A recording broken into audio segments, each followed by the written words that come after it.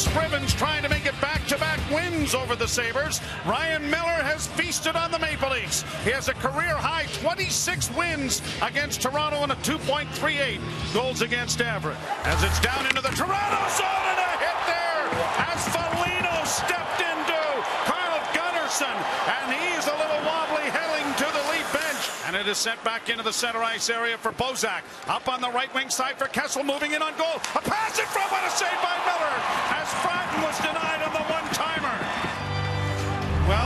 Traded Zack Kassian in order to get Cody Hodgson, and one of the reasons they felt they could do that was Marcus Foligno. And it appears here's a chance to score!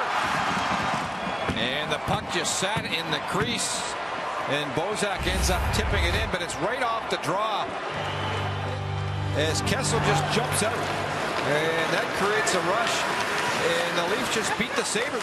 Matt Frattin into the forecheck again. Bozak trying to get to it as well, but Tyler Ennis loses it. Pass to the other side. Kessel in front. Score! Bozak!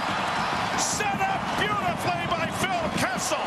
We saw this a lot earlier in his career, and this is the Luke Schenn that I think can come back in this league and be a very, very effective player. A horrible giveaway there right to the slot. Look at Schenn. Nice little patience over to Kessel, and then he shows great patience as well. And a perfect shot off the post by Tyler Bozak. Here's Kessel in over the line. Works back towards the blue line. Cycles it in for Bozak in front for Frattin. He scores! Matt Frattin hammers one over the shoulder of Miller. And the Maple Leafs have a 3-0 lead with 3.18 to go in the period. You know, one thing that Frattin can do, he can really fire the puck. And the Sabres are rattled now. They're rattled big time. I as well watched that, Paul, and I was riveted. It was excellent. And, uh, congratulations to the Canadian Little Leaguers who.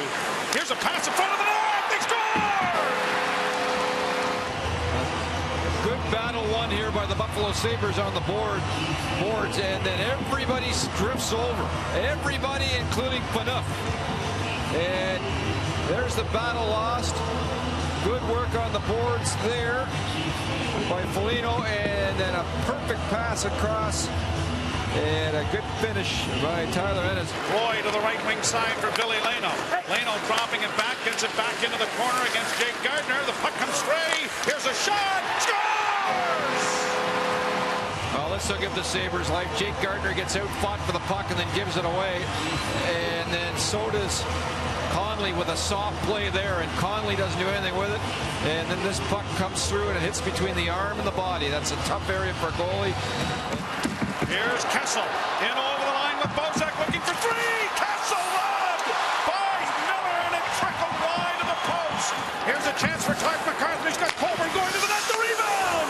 Colburn tied up by Jordan Leopold. They score.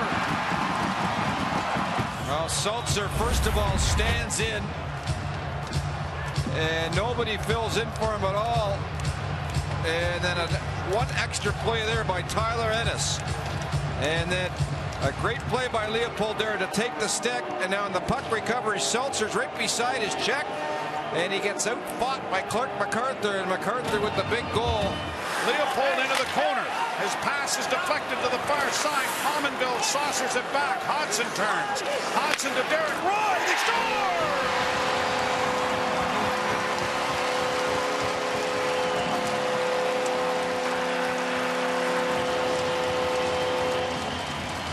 Second power play goal for Buffalo.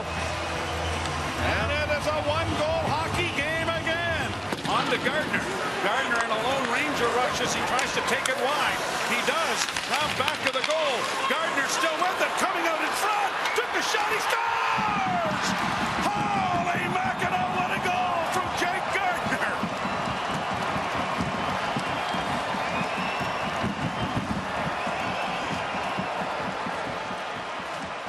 Brown grabbed onto and taken along the boards there by McNabb.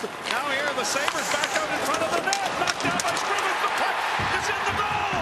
Or is it in the goal? Right now it's not in the goal. Who knows? Well, it's a goal. Alexander Sulzer is going to get credit for it. So obviously the whistle did not go. And this angle shows you that the puck is definitely in the net. And just to clarify on that goal, the call from the war room was only was the puck over the line. That was the thing. Here's